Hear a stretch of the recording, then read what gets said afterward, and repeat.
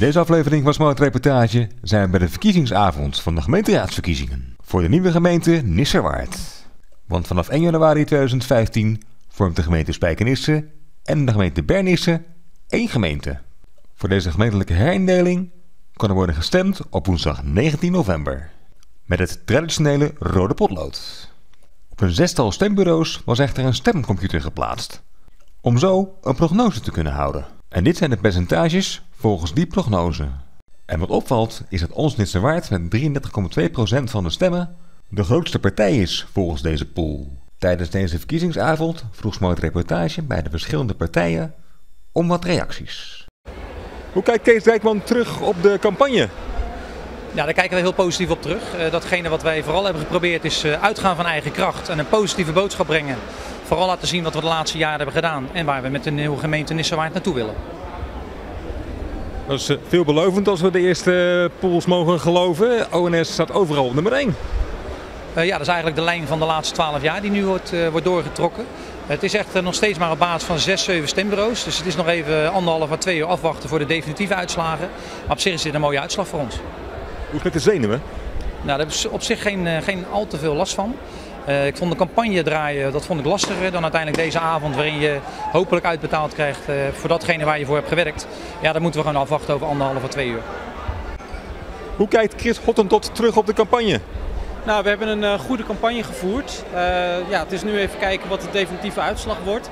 Het lijkt nu een beetje aan de lage kant. Dat komt doordat Abbenbroek uh, uit Bernisse, daar hebben wij heel weinig stemmen gekregen. Als we kijken naar Spijkenisse, daar zitten we zo rond de 10%. Dus uh, ja, we hopen dat we in ieder geval straks, uh, als de, alle resultaten binnenkomen, dat we er toch iets hoger uitkomen. Ja, er werden natuurlijk al wat exit polls gehouden om alvast de stemming te peilen. Trots zit in de lift, hè? Ja, trots zit zeker in de lift. En dat hebben wij ook op straat gehoord. Dat is ook wat uh, in de campagne echt positief was.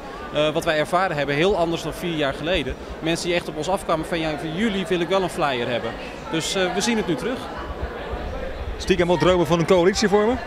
Nou, laten we eerst even de resultaten afwachten. Want ik zie ook dat een SP en de PvdA heel groot worden. Als ik nu kijk, dan zie ik toch een meerderheid in ONS, SP, PvdA. Maar misschien gaat dat nog veranderen in de loop van de avond. Hoe is het met de zenuwen? Ja, dat uh, zal in de loop van de avond steeds verder komen. De exit poll dat, uh, heeft de ergste zenuw eigenlijk al weggehaald. Want het was echt van, uh, nou wat kan het worden? Het kon alle kanten op. We weten nu in ieder geval iets. En ja, de rest van de avond moeten we even kijken hoe dat bijgeschaafd gaat worden. Is het al nagelbijten? Ja, een beetje wel. Hoe kijkt Wouter Struik terug op de campagne? Ja, we hebben ons stinkende best gedaan om zoveel mogelijk mensen natuurlijk op de Partij van de Arbeid te laten stemmen. Uh, omdat wij hopen dat we een uh, sociaal alternatief zijn voor de gemeente Nissewaard. Nou, we hebben nu de eerste exit poll gezien. en ja, als je ziet dat de Partij van de Arbeid zich min of meer heeft gehandhaafd ten opzichte van de vorige keer. daarmee de tweede partij zijn gebleven. ja, en daar zijn we toch wel blij om dat we in ieder geval een stevige positie behouden in de nieuwe gemeente. En die mag natuurlijk nog wat steviger naarmate de avond vordert. Droom je al stiekem van een coalitievorming? Nou ja, we moeten eerst even de uitslag afwachten. Uh, en we moeten hopen dat, uh, dat de nieuwe college niet om de Partij van de Arbeid heen kan. En dat we nu links afslaan met de gemeente Nissewaard. Hoe is het met de zenuwen? Nou, het was net heel spannend. Er is al een stukje ontlading nu natuurlijk de eerste uitslagen bekend zijn van uh, zes stembureaus. Uh, en uh, ja, dat, dat scheelt al wel dat je dat een beetje weet. Maar we gaan nog even verder met de spanning. Er druppelen langzaam steeds meer uh, bureaus, of ja, uitslagen van stembureaus binnen. en daar ga ik even naar, benieuwd naar, naar kijken.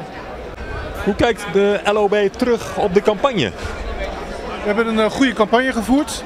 we hebben een beperkt aantal mensen kunnen inzetten, maar wat we hebben gedaan is voor ons het maximale wat we gehaald kunnen hebben. We hebben goed ingezet, debatten gevoerd, op de meeste plekken geweest.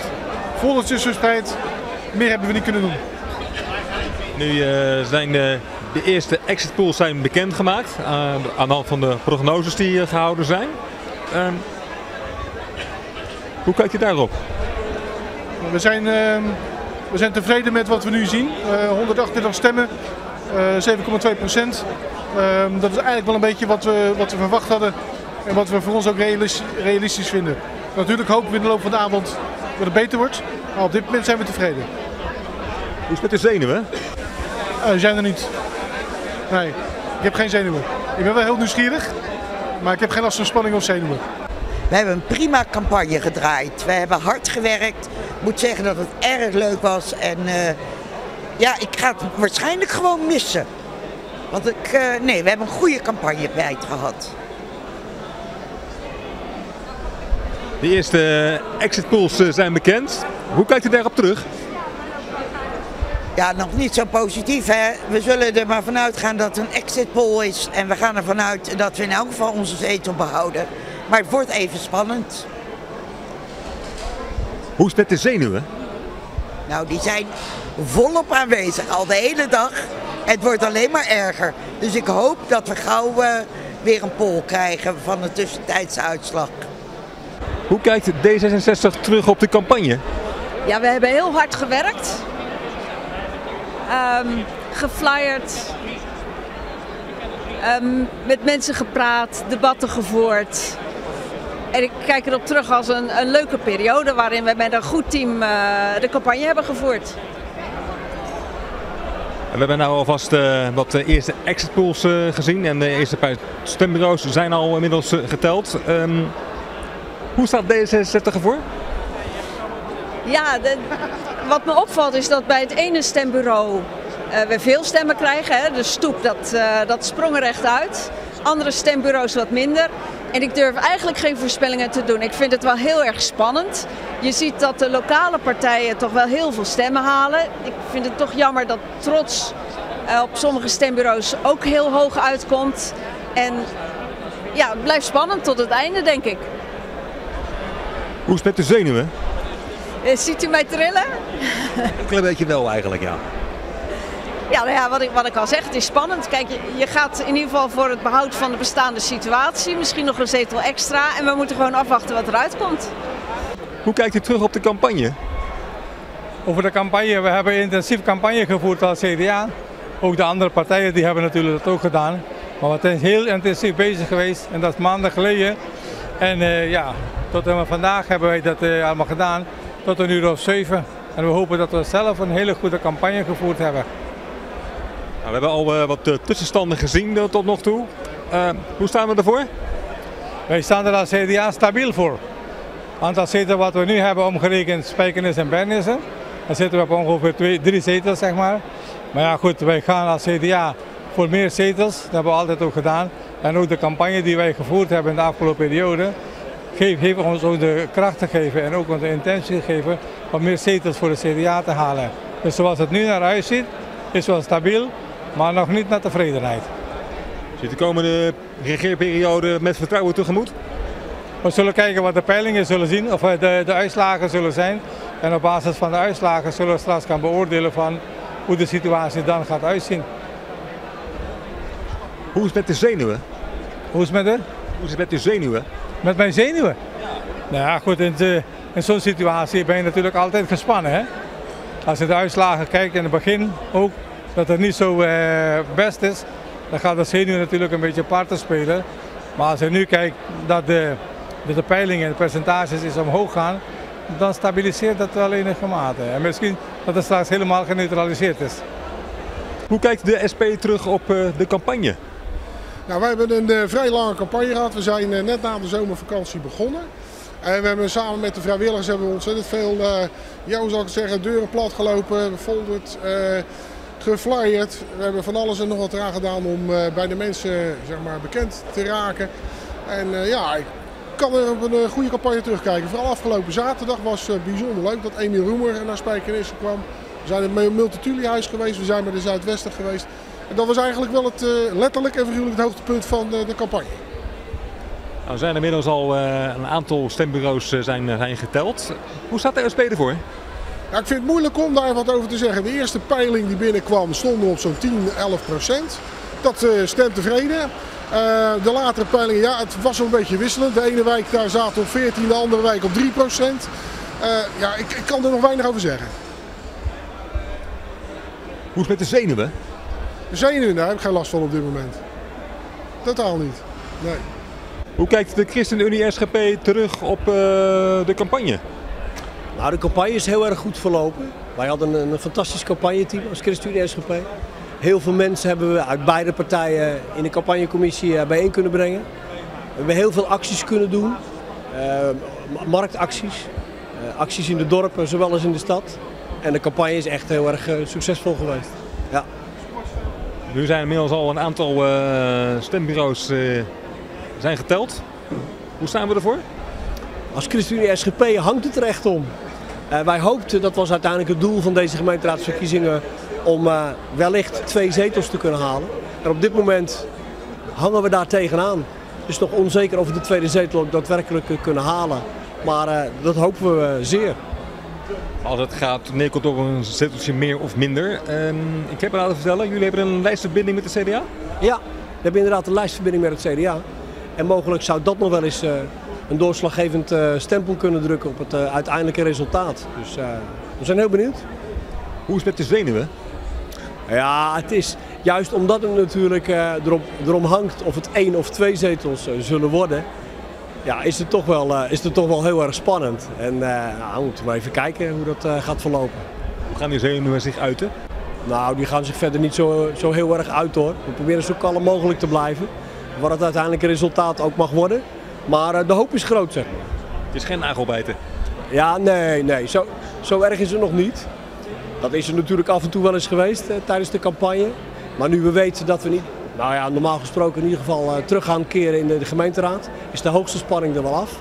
Nu is er echt nog, uh, alleen nog spanning om, uh, ja, zou het kunnen uiteindelijk na 32 jaar, die tweede zetel.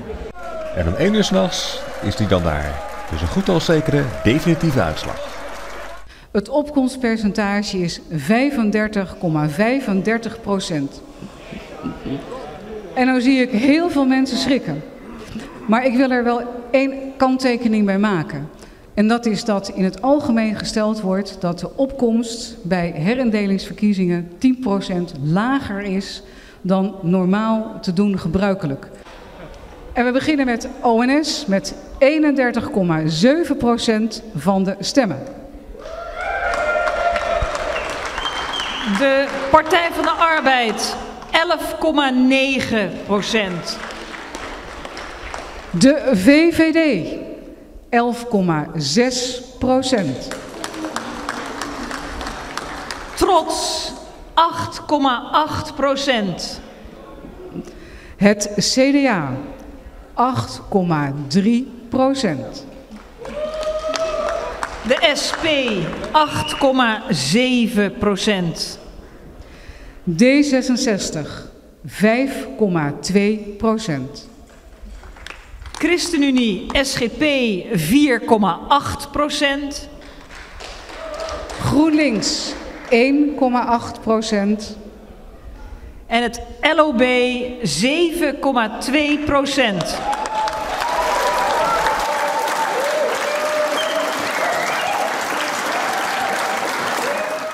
Gefeliciteerd met opnieuw de grootste partij voor uh, de komende gemeenteraad. Ja, dankjewel. Daar hebben we hard voor gewerkt uh, de laatste vijf jaar. Goede, goede positieve campagne gevoerd en uiteindelijk uh, betaalt zich dat terug in deze, deze aantal zetels. 31, 31 procent weet ik ongeveer. Dat komt neer op, bij benadering, hoeveel zetels worden dat? Ja, dat zal rond de 12 zetels zijn. Het hangt nog even af van wat de restzetels gaan doen, maar dat horen we morgen. En gaan dan vrij snel de coalitieonderhandelingen al beginnen? Ja, we gaan op hele korte termijn de gesprekken aan met uh, alle partijen. Om vooral uh, informerend uh, te kijken, ja, wat wil iedere partij en welke coalities zien zij. Durf je al te wagen naar een bepaalde voorkeur uit te spreken? Ja, je, dat is een goede vraag van je, maar je weet ook dat ik als politicus zal antwoorden, daar laat ik me nu niet over uit. nog, ik sta met een hele grote bos bloemen in, in je handen. Hou hem even omhoog voor de kijkers thuis.